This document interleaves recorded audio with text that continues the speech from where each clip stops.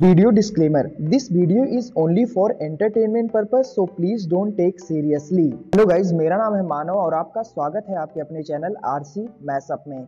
Guys आज के इस वीडियो में हम देखने वाले हैं एक कमाल के मैसअप रिएक्शन को। अगर आपको ये मैसअप रिएक्शन की वीडियो पसंद आएगी तो वीडियो को लाइक और शेयर ज़रूर कर दीजिएगा और चैनल पे नए हैं तो चैनल को सब्सक्राइब ज़रूर कर लीजिएगा। थैंक यू तो गाइज़ आगे की बात हम वीडियो खत्म होने के बाद करते हैं तो चलिए इस कमाल के मैसअप रिएक्शन की वीडियो की शुरुआत करते हैं। Hope you will enjoy. ISRO plans space tourism by 2030 at 6 crore per passenger अगर आपको अंतरिक्ष जाना है और वापस भी आना है पूरी पेमेंट कीजिएगा। ठीक है? ऐसा ना हो भाई साहब अभी तीन करोड़ दे दूँ और वहीं पे टांग दिया आपको चाँद के पास। ऐसा नहीं होना चाहिए। पूरी पेमेंट करिए। करोड़ में तो आप जाएँगे भी और आएँगे भी और इसरो प्लान कर रही है स्पेस टूरिज़्म बड़ी बात है। Union minister of state independent charge science and technology atomic energy and space doctor Jitendra Singh said in a written reply to a question in the Rajya Sabha in February that ISRO has already started carrying out feasibility studies for India sub orbital space tourism mission on board a liquid propelled stage booster through Gaganyaan India made in human space flight programme ISRO is engage in development of various technologies which are essential building block for human space mission अब देखिए एक आम आदमी जो है ये कितनी बड़ी बात है। अभी तक लोग कहते थे, सर, शिमला चलते हैं, श्रीनगर चलते हैं, और नैनीताल, और गोवा चलेगा? गोवा चलते हैं भाई, गोवा चलते हैं, है ना? चलो, राजस्थान चलते हैं यार जैसलमेर चलेंगे सर्दियों में। तो ये इंडिया के कुछ टूरिज़्म के हॉटस्पॉट्स हैं। केरला हो गया तो वहाँ पे लोग घूमते हैं। अब 2030 के बाद लोग आपस में ये बात बोलेंगे, भाई, चाँद चलेगा, चाँद। इमेजिन ये तो मैं हँसी मज़ाक में आपको बता रहा हूँ imagine the possibilities India is and this is said in the floor of the parliament and doctor Jitendra Singh he is a minister independent charge और उन्होंने फ्लोर ऑफ़ द पार्लियामेंट में बोला है कि 2030 तक इसरो, जो भी इंडियंस हैं स्पेस जाना चाहते हैं। They will send them to space and back तो मुझे लगता है कि ISRO you doing a fantastic job हमारी तरफ़ से और हमारे व्यूअर्स की तरफ़ से आपको सलूट दूसरी खबर जो आई है दोस्तों, वो ये है कि पुस्ट बाय सर्विसेज़ ये भी बहुत ज़बरदस्त खबर है। Today I have a lot of good news जहाँ तक भारत भारत से तो टचवुड यार। तो वुड का टचवुड भारत से अच्छी खबर का एक सिलसिला चलता चला आ रहा है। लेकिन यह खबर और भी अच्छी है। Push by services India set to cross 750 billion in export this year साढ़े सात सौ अरब का इंडिया एक्सपोर्ट करेगा। ये कह रहा है powered by services India export in the first 11 months of this financial year already cross 2021 full year record number of around 672 billion यानी कि पहले 11 month of this financial year पार कर गया है, touching 702.88 billion. We will exceed a target of 750 billion overall goods and services export in FY23 ये commerce secretary Sunil Sunil Barthwal ji ने ये बोला है। यार, ये कितनी बड़ी बात है, देखिए ना, साढ़े सात सौ अरब का annual export 750 billion dollars annual export ये कुछ ही साल में, कुछ ही साल में ये जो पूरा ये मोदी जी ने कर रखा है ना, आत्मनिर्भर भारत और ये वो भा- सुपर हाईवेज बन रहे हैं और ऐसा बन रहा है पूरा एक गडकरी जी भी 24 घंटे लगे रहते हैं, चाबी देके सबको। दोस्तों, इतनी बड़ी चीज़ है, इतनी बड़ी चीज़ है, मैं बता रहा हूँ इट्स नॉट और मैं कोई ऐसी बात नहीं कह रहा, मुझे ऐसा लगता है कि दो तीन साल के अंदर या चार साल के अंदर maximum we will cross a trillion dollars worth of exports every year क्या हो रहा है कि इंटरनल कंजम्पशन इंडिया का सॉलिड है। इसीलिए आप देखिएगा, कोरोना के बाद जब कोरोना खत्म हुआ तो पूरी दुनिया की इकोनॉमी में मार खाई चाइना ने भयानक मार खाई। इंडिया को इम्पैक्ट पड़ा। नो डाउट इंडिया को इम्पैक्ट पड़ा, लेकिन India was one large economy which bounce back फट से इंडिया बाउंस बैक करी, क्यों बाउंस बैक करी? इसलिए बाउंस बैक करी क्योंकि इंटरनल कंजम्पशन इतना है हमारा। ठीक है? अगर एक गाड़ी पसंद आ गई, ठीक है? आपने महिंद्रा ने गाड़ी बना ली Thar.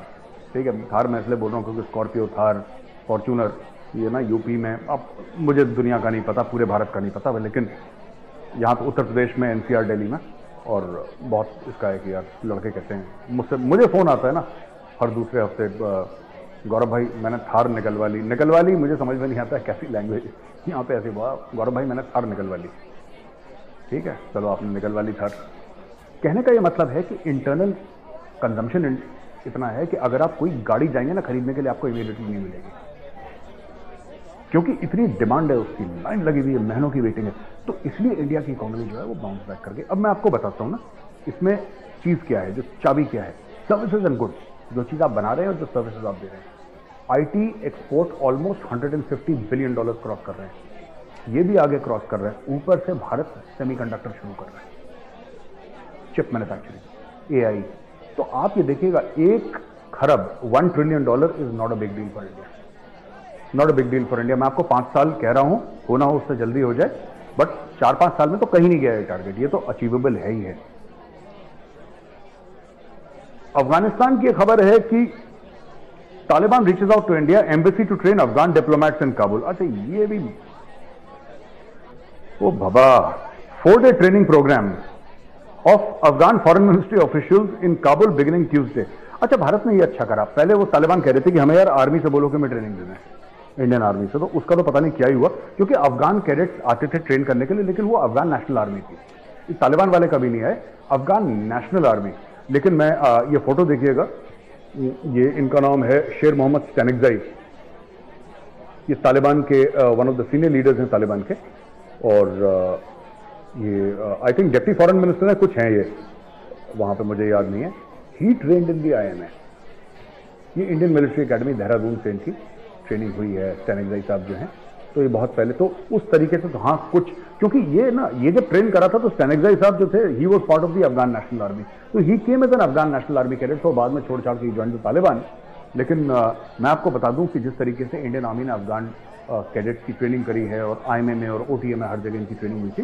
And great people fantastic guide hardy soldiers इनकी ट्रेनिंग करी। अब इंडिया कह रहा है कि हम आपके डिप्लोमेट्स की ट्रेनिंग करेंगे। अब तालिबान को यह सिखाएँगे किस तरीके से। इसमें ना बात यह नहीं कि इंडिया तालिबान को ट्रेन कर रहा है। बात यह है कि तालिबान ने भारत को चुना। तालिबान ने भारत को चुना और बगल में जो इस्लामी बिरादर मुल्क पाकिस्तान है, उसको इग्नोर करा क्योंकि उनको पता है कि पाकिस्तान की फॉरेन मिनिस्ट्री क्या सिखाएगी। पाकिस्तान की फॉरेन मिनिस्ट्री आप खुद सोचिए। मैं आपसे पूछ रहा हूँ, पाकिस्तानी भाइयों, बहनों जो पाकिस्तान की फॉरेन मिनिस्ट्री अफगान को क्या अफगानी बोलते हैं वो खोचे हम तो भीख नहीं मांगती हम मेहनत करती हम भीख नहीं मांगती और तुम सिर्फ़ भीख मांगती तो तुम हमें क्या सिखाती? ये बात हो गई। अब पठान ने बोल दिया कि हम तो भीख मांगते नहीं। हम पेट पे पत्थर बाँध के ये अफगानों का है मामला मैं आपको बता सोच रहा है। अफगान जो है वो भूखा सो जाएगा वो हाथ नहीं फैलाता। ठीक है? लाहौरी सिर्फ़ हाथ फैलाते हैं। लाहौरियों को काम करने में मौत आती है। ठीक है तो बेसिक बात यह है कि उन्होंने पाकिस्तान को इग्नोर करा। And nobody takes Pakistan seriously any longer तो यहाँ पे इंडियन जो है वो डिप्लोमेसी सिखाएँगे। और दूसरी बड़ी अचंभे की बात यह है कि अफगान अंडर द तालिबान क्योंकि तालिबान का बड़ा एक रिस्ट्रिक्टिव वर्ल्ड व्यू है कि लड़कियाँ नहीं जाएँगी स्कूल और ये सब। लेकिन उन्होंने एक बात सोच ली है कि दुनिया से आप बिना घुले मिले आप देश नहीं चला वो दिन चले गए। इकोनॉमी इतनी इंटरलिंक्ड है कि without interacting with the world you cannot आप लास्ट नहीं कर सकते। तो इंडियन डिप्लोमेट जाएँगे और वहीं पे उनको कॉन्सुलेट के अंदर जो हमारा एम्बेसी है, उसके अंदर इनको ट्रेनिंग देंगे डिप्लोमेसी आपको बात कैसे करनी है? आपको स्टेटमेंट कैसे देना है? राइट आपको उठना बैठना कैसे है? खाना पीना कैसे है? आपको दूसरे लोगों के साथ डील कैसे करना है? आप जब जाते हैं और आपको एक अच्छा इमेज अफ़गानिस्तान का और तालिबान का किस तरीके से देना है दुनिया को? I think this is the first step लोग कहते ना कि अफ़गानिस्तान को रिकॉग्नाइज नहीं करा तालिबान को रिकॉग्नाइज नहीं करा। I think this is the first step जो कि अफगान तालिबान की तरफ़ से आया है कि यार we want to reach out to the world कुछ हमारी भी शर्तें हैं। हम पूरा पाकिस्तान तो नहीं है कि हम ज़मीन पर फट्टे पर लेट जाएँगे और अपनी पूरी कौम को फट्टे पर लेटा देंगे। हम लोग अपना गुरूर रखेंगे। हम अपनी सेल्फ रिस्पेक्ट रखेंगे अपनी इज़्ज़त रखेंगे लेकिन हम दुनिया के साथ हाथ भी I think is a very mature thing ठीक है तो वहाँ पे इनकी ट्रेनिंग होने वाली है। ये दो चार दिन पहले की खबर है लेकिन ये मेरी नज़र से गुजरी नहीं। तो अभी मुझे आ, मैंने सोचा कि आपको इसके बारे में डिस्कस करूँ। चौदह मार्च से सत्रह मार्च। ठीक है यानी कि ये ट्रेनिंग आज की तारीख में खत्म हो जाएगी और इसके आगे भी ट्रेनिंग करी जाएगी। आज नहीं I think today is today is the sixteen ये ट्रेनिंग कल खत्म हो जाएगी दोस्तों। सत्रह को खत्म हो जाएगी। अब आते हैं पाकिस्तान पे। है ना? आप सबको इंतज़ार था, आपने बोला कि मेजर साहब, ये इसरो स्पेस टूरिज़्म करेगा, छह करोड़ का और इंडिया का ट्रेड हो जाएगा, एक खरब डॉलर वन ट्रिलियन और ये सब अफ़गानिस्तान को ये सिखाएँगे डिप्लोमेसी यार मेजर साहब ये सब छोड़ो यार होने वाली बात है। खूब रायता खिला दिया खूब सलाद पापड़ अचार हो गया। अब असली मुद्दे असली डिश सर्व करो। तो असली डिश ये है। पीएम शहबाज यार ये क्या आदमी है यार? ये कहता है कि पाकिस्तान ने डिफ़ॉल्ट को डॉज कर लिया। अब पाकिस्तान डिफ़ॉल्ट नहीं करेगा। ठीक है? अच्छी खबर है डिफ़ॉल्ट आप देखिए पाकिस्तान में क्या कॉमेडी चल रही है भाई। उसी का फॉरेन मिनिस्टर कहता है, Pakistan is in a perfect storm of crisis यानी कि मल्टीपल क्राइसिस क्राइसिस ये कह रहा है कि आपने डिफ़ॉल्ट अवॉइड कर लिया, आप इकोनॉमिकली स्टेबल होगा यह प्रधानमंत्री कह रहा है। और उसी का विदेश मंत्री ये कह रहा है कि बस, यहाँ पे तो गड़बड़ हो गई। असली बात क्या है? आपने वो गाना सुना, वो अक्षय कुमार की फ़िल्म का था ना? अल्लाह बचाए मेरी जान की रजिया, गुंडों में फंस गई। है ना? ऐसे ही कुछ था ना गाना कि अल्लाह बचाए मेरी जान रजिया गुंडों पर। पाकिस्तान फंस गया गुंडों में। अल्लाह। ये बात है। अब इनका प्रधानमंत्री झूठ बोले इनका प्रधानमंत्री बोले सब कुछ ठीक हो गया है। बस ठीक है उनकी मर्ज़ी है। लेकिन बिलावल भुट्टो अच्छा ये तो अलग अलग पार्टीज़ के हैं ना। वो नून लीग का पाकिस्तान मुस्लिम लीग पीएमएलएन का है वो प्रधानमंत्री। ये पीपीपी का है पाकिस्तान पीपल्स पार्टी। तो बेसिकली क्या है कि ये एक दूसरे को काट रहे हैं। सत्ता सिर्फ़ इनकी इस सत्ता की लड़ाई इसके इमरान खान से नहीं है इनकी आपस में भी है। वो कह रहा है कि हम बच गए ये कह रहा है कि जी रजिया गुंडों में फंस गई ठीक है भैया? फातिमी बेजर की। अच्छा जलम खलिलजाद। जलम खलिलजाद वो था जिसने वो अमेरिका का पूरा वो अफ़गानिस्तान का मामला करा था ना? He was the main diplomat and all तो जलम खलिलजाद ने बोल दिया कि भाई एक उसने डायलॉग मार दिया। जलम खलिलजाद कहता है कि Pakistan faces triple crisis political economic and security despite great potential अब पता नहीं कौन सा पोटेंशियल है, ये तो झूठी बोला इसने। Despite great potential it is under performing and following far behind its arch rival India it is time for serious soul searching bold thinking and strategising ये इन्होंने बोल दिया।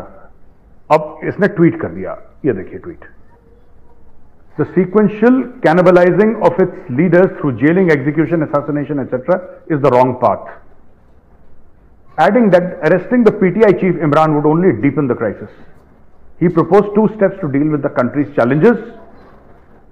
कहता है कि first, set a date for general elections to avert a meltdown. Secondly, he called for using this time for the main उसके political बाद जो parties होगा to confront what has gone wrong and propose a specific plan to rescue and put the country on a path to stability security and prosperity ठीक है भाई? तो ये story है इसकी। अच्छा पाकिस्तान ने एक छोटा सा जवाब दिया कि Pakistan does not need lectures और अनसॉलिसिटेड एडवाइस अच्छा कोई भी पाकिस्तान को अच्छी बात बताए ना, ये लोग ईगो पे ले लेते हैं। ठीक है? इनको ना ईगो पे बड़ी जल्दी आ जाती है पाकिस्तानियों को कि तुमने हमें कैसे बोल दिया? तो क्या हुआ अगर रजिया गुंडों में फंस गई? तो क्या हुआ? तो क्या हुआ? क्या कहना है वही पोजीशन है भाई मेजर साहब बोल रहा है भाई इलेक्शन के अलावा हमारे पास कोई भी हल नहीं है वरना दुनिया हमें ट्रोल करती रहेगी हम मांगते रहेंगे ये और हमारा मज़ाक उड़ता रहेगा हर जगह पर हमारा मज़ाक बनेगा। जहाँ देखो हमारे आपस के मुसलमान मुल्क भी हमारा मज़ाक उड़ाते हैं। अभी अफ़गानिस्तान जैसा मुल्क भी हमें सीरियस नहीं लेता। वो भी इंडिया के पास चला गया है कि आप हमें ये सब करो ट्रेनिंग ये जो होता है। पाकिस्तान मुसलमान भाई ये कुछ नहीं भाई। यार अभी वो भी आगे की सोच रहे हैं अफ़गानिस्तान वाले। इंडिया तो इतना आगे निकल चुका है कि भाई स्पेस हाँ बिल्कुल। थ्री बिलियन का काम कारोबार कर रहे हैं भाई। ट्रिलियन भाई ट्रिलियन अभी वो एक्सपोर्ट बिलियन भी नहीं ट्रिलियन तक पहुँच गए। हम सोच भी नहीं सकते नहीं, हमारे जो मुल्क का वही हाल है जो जब तक इलेक्शन नहीं होंगे हमारी कौम काम करने वाली है। मानते हैं। मेजर साहब भी बोलता है कि पाकिस्तान में वो काबिलियत है हट्टा कट्टा है लेकिन भीख मांगते हैं, फिर भी कोई हमारा कोई प्लेटफॉर्म होता ना तो हमारे जो लीडर है ना वही कोई अच्छा सा इलेक्शन आ जाएगी उसके बाद ही हमारी गाड़ी है ना वो चलेगी। हाँ, अभी तो ये गाइज़ आपको यह मैसअप रिएक्शन का वीडियो कैसा लगा? अपने थॉट को नीचे वीडियो के कमेंट में ज़रूर बताइएगा। वीडियो पसंद आई हो तो वीडियो को लाइक ज़रूर कर दीजिएगा। चैनल पे नए हैं तो चैनल को सब्सक्राइब ज़रूर कर लीजिएगा। तो थैंक यू मिलते हैं नेक्स्ट वीडियो में।